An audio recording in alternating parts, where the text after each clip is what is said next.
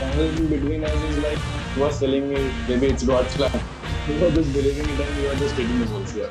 हम इंजॉय कर रहे थे अपनी बैटिंग में बस यही बोला था गॉड्स प्लान नहीं बस मारते जाओ आप ऊपर वाले पे छोड़ दो तो काफ़ी अच्छी बैटिंग करी नीतीश भैया ने काफ़ी उनका दूसरा मैच था इंटरनेशनल तो काफ़ी अच्छा लगा उनको Obviously, it feels very grateful that playing for India itself is a proud moment and getting the man of the match itself. I feel so grateful for this and I just want to live in this moment.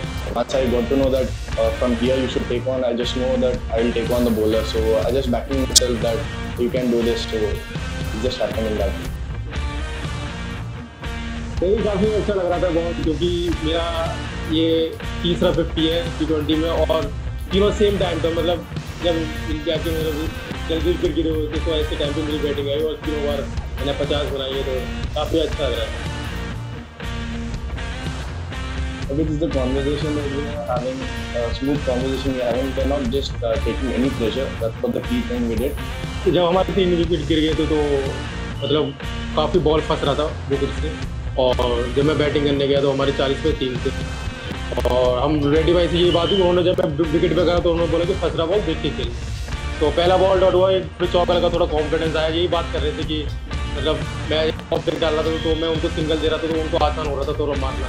Don't plan anything about the score and anything so when we saw the spinner is coming we told that this over is the main over we should take on तो when Rinku gave me single and I feel like I should take on all spinner it's my time so that's what है तो मैं बात करना चाहूँगा जब से मैं इंडिया इंडिया के लिए खेल रहा हूँ तो सारी सारी सीरीज़ जीता हूँ और टीम भी सीरीज़ नहीं आना चाहती हूँ तो मैं ये चाहूँगा टीम के साथ रहूँ और हमारी टीम जीत के रहती है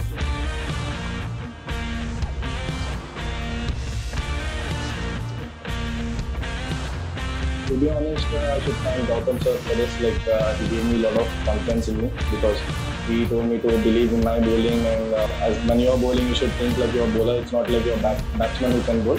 You should think like you're a bowler. So that's what he keep telling me, and that, that somehow boosted me. Uh, I would like to thank uh, Gautam sir for this.